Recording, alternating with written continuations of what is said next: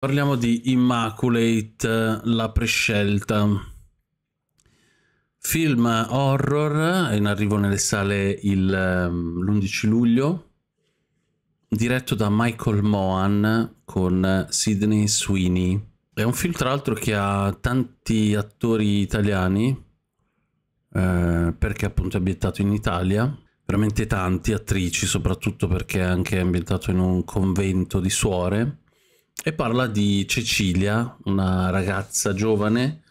che sente il bisogno di diventare suora perché sente che sente la chiamata, diciamo. È molto giovane, è molto bella,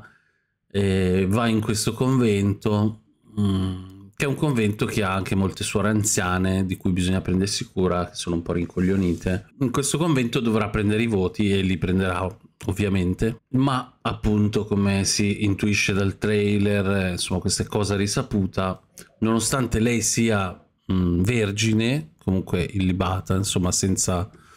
aver mai avuto rapporti sessuali con un uomo, eh, si ritrova ad essere incinta, quindi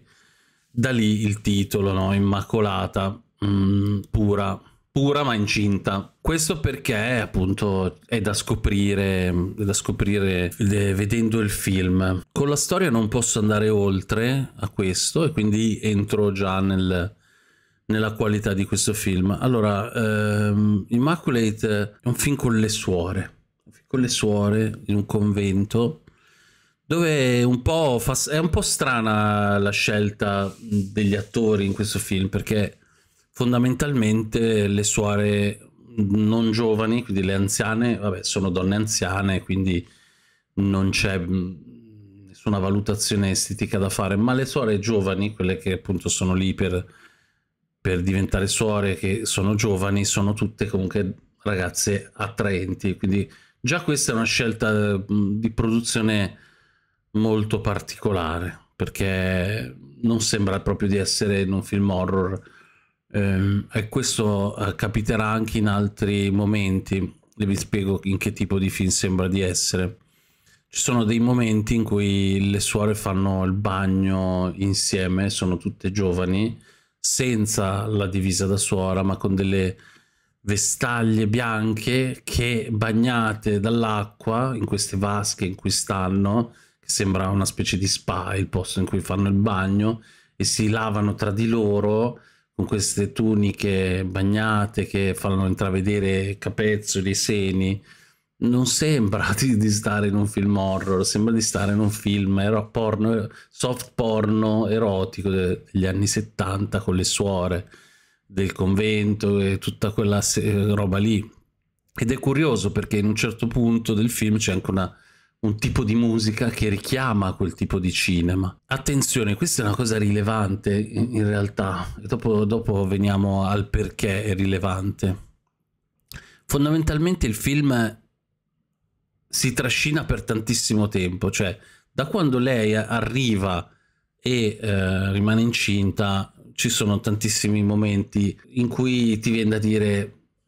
ok, però andiamo avanti, invece si trascina molto ed è abbastanza noioso all'inizio il film. Sembra che non voglia mai partire. A un certo punto il film parte e ha anche dei momenti un po' violenti, ha dei momenti di horror splatter, horror splatter gore che non ti aspetti in un film così perché è un film che sembrerebbe comunque un film mainstream un film eh, che non ti aspetti così violento invece poi ha dei, dei picchi in cui eh, ci sono del, delle scene horror eh, gore fatte anche abbastanza bene, che però non ti aspetti perché sem- sembrava di stare in un altro tipo di film con tutte le suore carine e queste, queste scene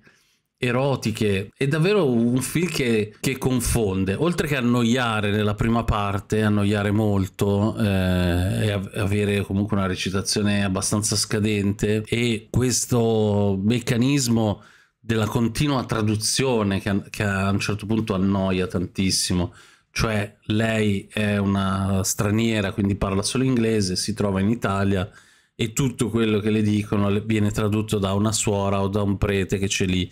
che ripete continuamente quello che gli viene detto e quello che lei dice agli altri, è una roba che all'inizio ci può stare, poi diventa veramente frustrante. Il film lo valuto scadente, proprio scadente nella scrittura, scadente nella, nella recitazione, non per nulla scadente negli effetti speciali quando servono e quando ci sono. Eh, in quei momenti il film cambia, il film sembra, non, sembra più, non più Immaculate, sembra un altro film. Sembra un film che ha una sua identità, che è un'identità più violenta, più da film gore. Purtroppo questo avviene in pochissimi istanti, quindi io l'ho, l'ho sottolineato, ma non vorrei che si percepisse una quantità di gore che non c'è. No, ce n'è poco, fatto bene e si concentra quasi tutto sul finale. Non è un film di qualità, è un film noioso, un film eh, banale anche nella sua mh, mm, storia, nel suo, nella sua sceneggiatura, però ha una particolarità strana all'interno del film ci sono cose che, che, non riesco a spiegarmi. Cioè, tutte queste scenette sensuali, eh, come appunto um, possiamo vedere nel trailer Sid, eh, Sidney Sweeney eh, nuda che si tiene il seno sotto una doccia con questo seno super prosperoso, le scene eh, soft porno mh, mm, mentre le suore si fanno il bagno le scene gore, la violenza eh, e un finale, eh, un finale che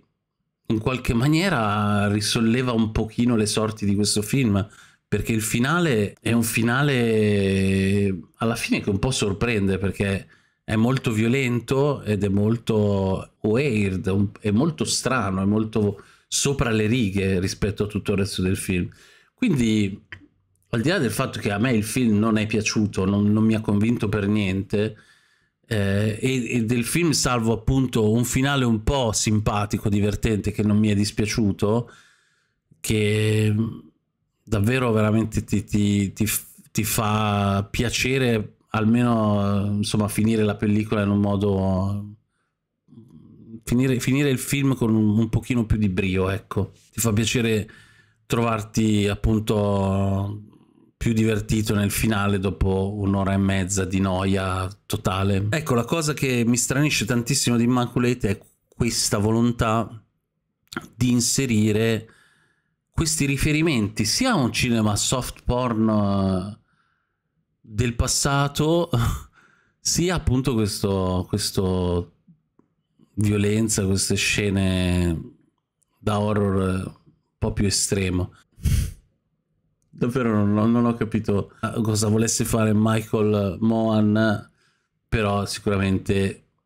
il risultato mh, mm, non è qualcosa di buono, ecco. Alcune scene sono abbastanza ridicole, quindi si ride, si ride, si ride. Si potrebbe anche ridere vedendo questo film. Questo è tutto per la recensione di Immaculate. Se vi è piaciuta mettete un like, lasciatemi un commento se avete visto il film o volete vederlo con il vostro parere e iscrivetevi al canale se eh, vi interessa il cinema horror. Ciao!